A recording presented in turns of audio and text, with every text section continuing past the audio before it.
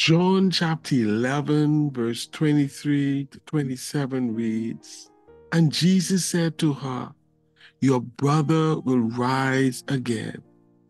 Martha said to him, I know that he will rise again in the resurrection on the last day.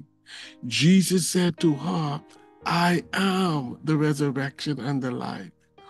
Whosoever believes in me, though he die, yet shall he live. And everyone who lives and believes in me shall never die. Do you believe this? She said to him, Yes, Lord, I believe that you are the Christ, the Son of the living God, who is coming into the world, the word of God to the people of God. And I say, Peace to you my family in Christ.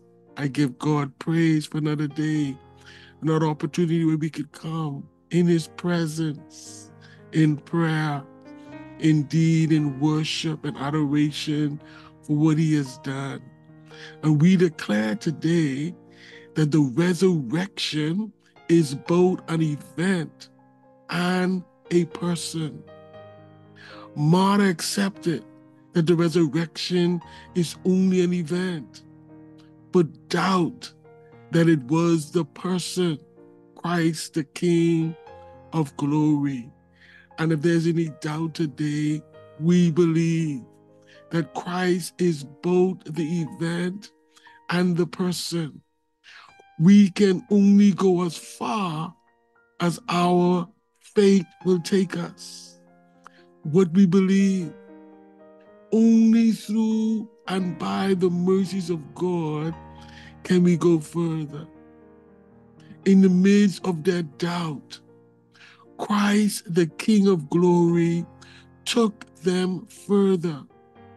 When he called out their brother's name, and their brother responded. Jesus says, Lazarus, come forth.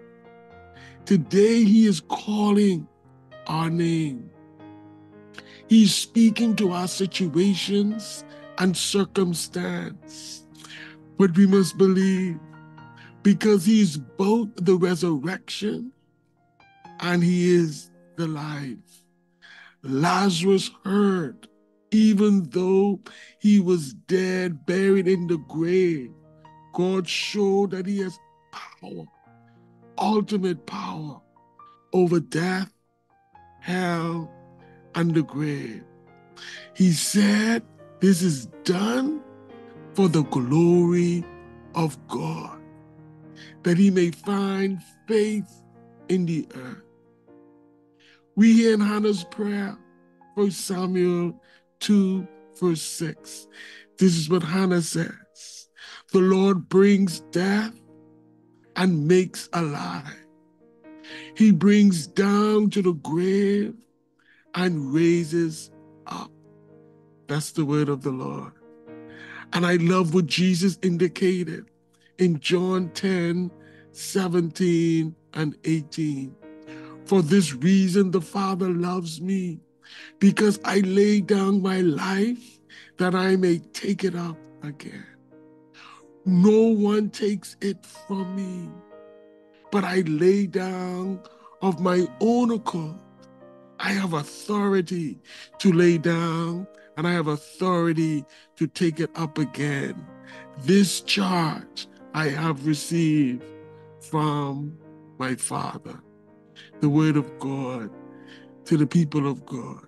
Let's go today, this week, which is the devil's defeat believing that our God is the resurrection and He's the life.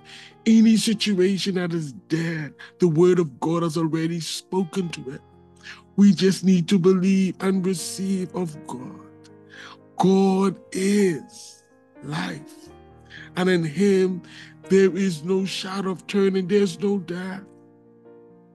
And we must believe and trust his word today, and God will perform.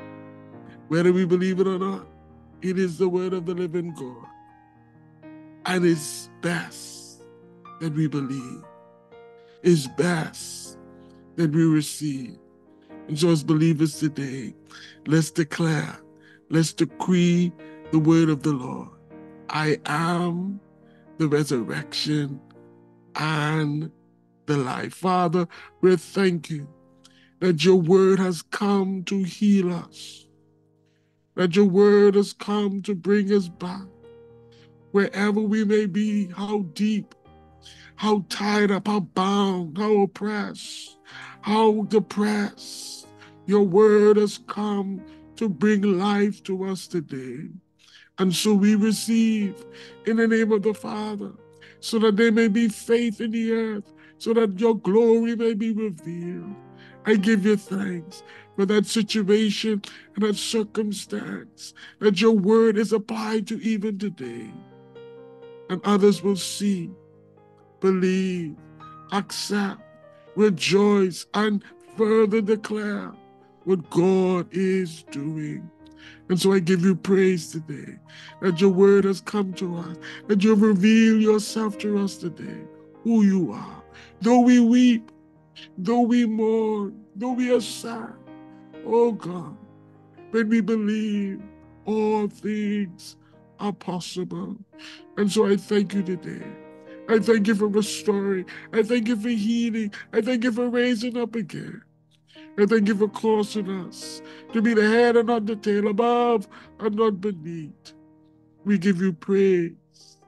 And your lenders are not borrowers because of your word.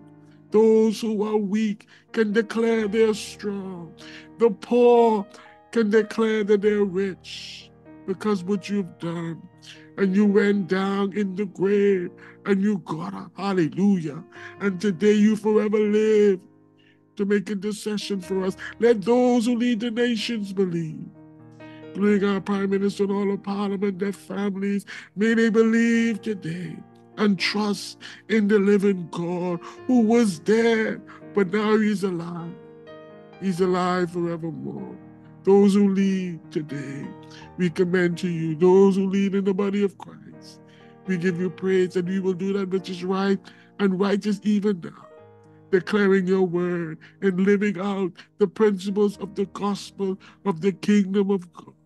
We give it back. Thank you for the peace of Jerusalem for families everywhere today. Be exalted in us.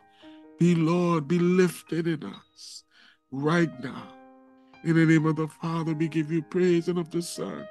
For every family today, we pray for that mom, that dad, who may be struggling, challenged, even at home that is happy and pleasant. We commend to you today that your will be done. So as we leave to go forth, we will go forth in the power of your word to conquer, to overcome, to indeed be victorious. We thank you right now, and we believe your word.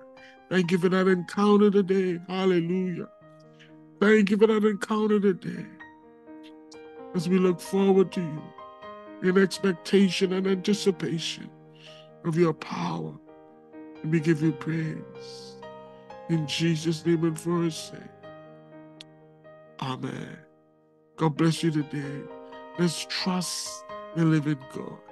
He is the resurrection, He is the life.